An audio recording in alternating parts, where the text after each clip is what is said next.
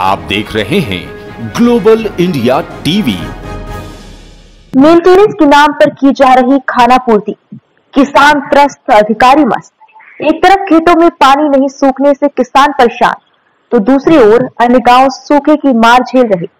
जी हाँ बात करें अनूपपुर ज़िले के पुष्पराजगढ़ जनपद पंचायत की, जहाँ ग्राम पंचायत पटना में बने। बागिन बाँध से गाँव की जनता त्रस्त है। करोड़ों की लागत से बना बाँध जो महज दिखावा बनकर रह गया है। इन्हीं सब मुद्दों पर बात करने के लिए हमारे साथ मौजूद है आशुतोष सिंह, जो एक किसान है और साथ में पत्रकार भी। साथ ही मौजूद है अनूपपुर से हमारे संवाददाता चेतन गुप्ता भी। आशुतोष जी, पहला तो जनता आपसे जानना चाहती है, बताएँ कि क्या है पूरा मामला? क्यों बागिन बाँध जो कि करोड़ों की लागत से बना, मगर उससे जनता त्रस्त है? क्या कारण है इसका? ये बाँध जो बाँध बना हुआ है इससे सिंचाई होने की करीब पाँच से सात ग्राम पंचायतों के गाँव में। उन किसानों तक लगातार पहले पानी भी पहुँचता रहा। किंतु विभाग की विभाग की लापरवाही की वजह से नहर टूटी हुई है तीन साल से। मरम्मत के नाम से लगातार उस पर राशि का आहरण कर रहे हैं। लेकिन जब उसे उसे बनाने की बात की जाती है तो बजट का नहीं होना बताया जाता है। ये और भी कुछ भी नहीं है। उदासीनता है। विभाग की भी और राजनीतिक लोगों की भी। तो उससे किसान परेशान है उससे लगे हुए जितने भी खेत है उन पर पानी भर जाता है रिसाव का जिससे वो खेती नहीं कर पाते। लगातार उन्होंने आवाज़ें उठाई पर देखने और सुनने वाला कोई नहीं है। जी आशुतोष जी जैसा कि आपने बताया कि देखने और सुनने वाला कोई नहीं तो क्या लगता है ये जो पलीता लगाया जा रहा है इसमें कौन कौन शामिल है? क्यों सब लोग आँखें बंद करके पड़े हुए हैं?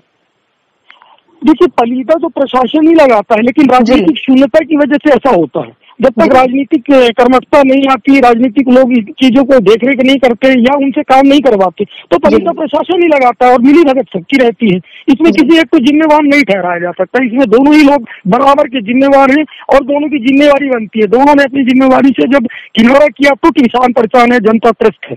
जी जी। आशुतोष जी जैसा कि आपने बताया कि इसमें दोनों लोग दोनों लोग इसमें मिले हुए हैं तो क्या जो भ्रष्टाचार को लेकर जो आवाज़ें उठ रही हैं जो आप लोग के द्वारा आवाज़ें उठाई जा रही हैं, क्या अभी तक इस पे शासन और प्रशासन का क्या रवैया है? क्या रिएक्शन आ रहा है? शासन और प्रशासन का रवैया अभी तक ज़ीरो है। यदि इसमें कुछ भी होता तो तीन साल से टूटे हुए नहर की वजह से जनता परेशान नहीं होती किसान त्रस्त नहीं होता। हमारे एक और मुख्यमंत्री कहते हैं कि किसान को हम हर तरीके से फ़ायदे देंगे दूसरी हम्म। तरफ़ आपके सामने पिक्चर में आप वीडियो पे देख सकती है कि किसान किस तरीके से बेहाल है। उनके खेतों पे पानी भरा हुआ है। जहाँ से वो अनाज उगाते थे जिस जो उनकी रोजी रोटी का सहारा था उसको ही छीने हुए बैठे हैं। और ये और कोई नहीं उसी शिवराज सिंह चौहान जी के सरकार की नुमाइंदे हैं। उन्हीं के प्रशासन के लोग हैं उन्हीं के राजनीतिक लोग हैं। यानी कि किसान जो है एक राजनीतिक मुद्दा बस बन के रह गया है। जी। आशुतोष जी भारत एक राजनीतिक मुद्दा हमेशा ही बना रहा है। जी हमेशा ही बना है। किसान के नाम से किसान के नाम से हमेशा रोटियाँ सेकी गई है। किसान की हालत आज ही वैसी की है। एक खेत में भरा हुआ किसान तीन साल से भी फ़सल नहीं ले पा रहा है। तो उसकी स्थिति उसके घर पे जाके देखिए। कह देने से नहीं होता कि किसान के साथ है किसान के बल ऐसा नहीं है किसान मेहनत करके उगाता है फ़सल उगाता है खुद भी खाता है लोगों को भी खिलाता है।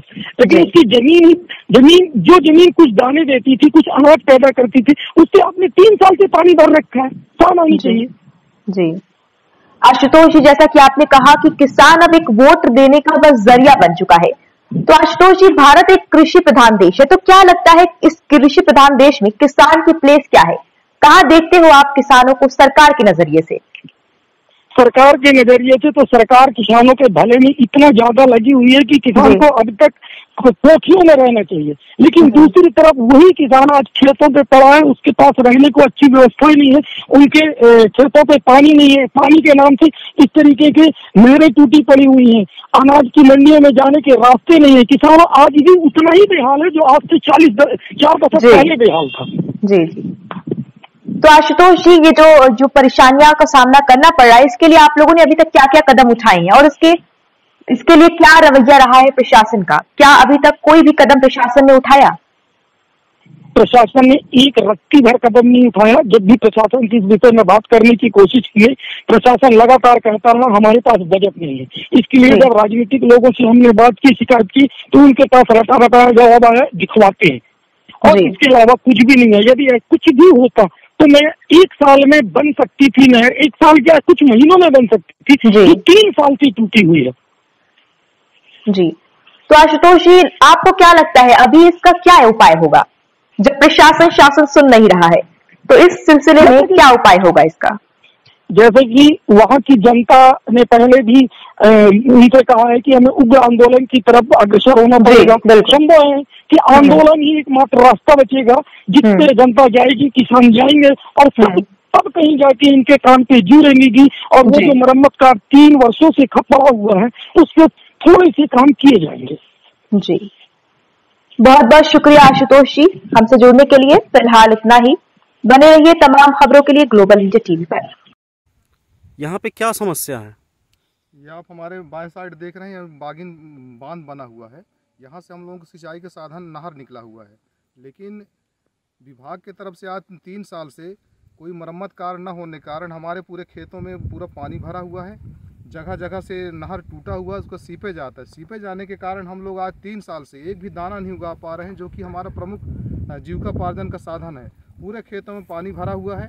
लबालब उसमें दलदल नुमा बन गया है। विभाग की ओर से कभी भी कोई मरम्मत या कोई कार्य में ध्यान नहीं दिया जाता है जबकि यहाँ का नहर तीन चार गाँवों को जोड़ता है सिंचाई के लिए। लेकिन बीच में एक नहर जो है टूटी हुई है। टूटी होने के कारण आगे पानी नहीं जा रहा पानी वहीं ज्यों के त्यों रुका हुआ है। वो पूरे पानी हमारे खेतों में आता है और पूरा तालाब नुमा बना हुआ है। हम लोग एक भी खेती है या देख रहे हैं सामने में एक भी अनाज आज तीन साल से नहीं नहीं। विभाग वालों को जानकारी दी है आपने? बिल्कुल विभाग वालों को जानकारी है। अभी भी आए हैं तो नहर में सिर्फ़ चारा काट के लोग चले गए हैं वहाँ से उन्होंने। क्या नाम है आपका? सजीवन पंचायत सजीवन जी यहाँ पे पानी की क्या समस्या है?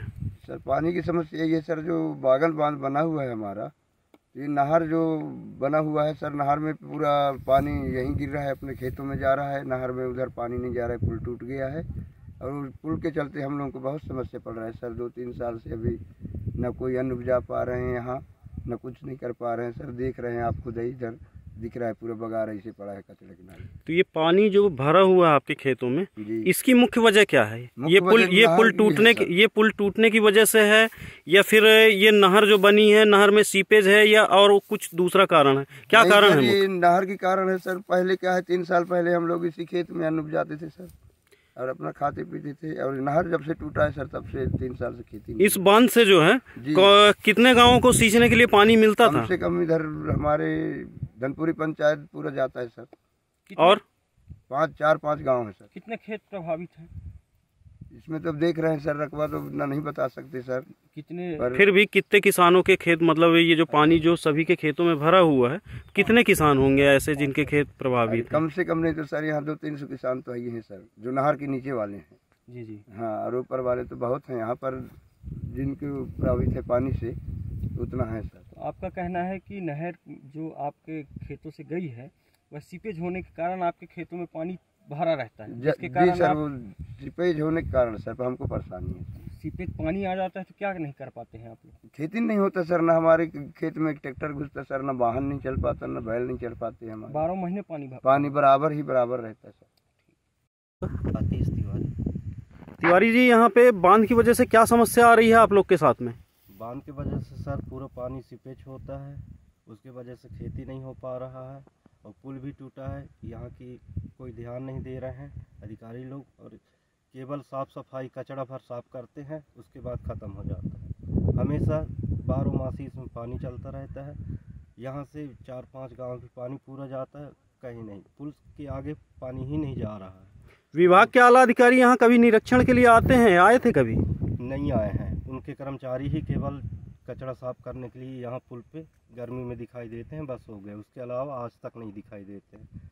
और पानी हमेशा बारह मास यहाँ भरा रहता है। क्या कारण है कि पानी यहाँ खेतों में भरा रहता है? सिपेज है पूरा नाली उनका और फिर आगे से पुल टूटा हुआ है। वो पुल आज तीन साल से टूटा है पूरा डिमेज है। उसके वजह से पानी ही आगे नहीं क्रॉस हो पा रहा है। अभी वर्तमान में जैसे गेहूँ का सीज़न आ रहा है गेहूँ की कुछ तो बुवाई हो चुकी है कुछ बुवाई हो रही है। ऐसे में अगर पानी की समस्या है तो क्या पानी उनको मिल पाएगा? यहाँ नहीं मिल पाएगा सर जी पानी ज़ीरो है यहाँ। अलग पानी दूसरे जगह जाते रहता है। तो अगर यदि पानी नहीं पहुँच पा रहा है पुल टूटने की वजह से तो जिनके खेत वहाँ प्रभावित हो रहे हैं उनको क्या प्रभाव पड़ेगा? उनकी खेती ही नहीं होगी सर सुन है। खेती ही नहीं कर पा रहे हैं पूरा पानी भरा हुआ है। और जहाँ पानी भरा हुआ है? जहाँ पानी भरा है वहाँ तो कचरा है पूरा। मतलब दोनों ही कंडीशन में दोनों तरफ़ से नुकसान है। जी। ऐसे कितने किसानों को नुकसान पहुँच रहे होंगे? यहाँ से लेके लांघा टोला पंचायत से लेके धनपुरी मझीटा पंचायत तक पूरे नहर के जितने नीचे आदमी हैं पूरे उसी कंडीशन पे है। इस पे किसकी लापरवाही आपको दिख रही है? मतलब किसकी लापरवाही का खामियाजा आप लोग किसान भाई लोग हो आप लोग। मतलब जो उठा रहे हो। ये विभाग की कमज़ोरी है आप लोगों ने उनसे कभी बताया? जी सर। उसके बाद भी? कोई ध्यान नहीं देते हैं।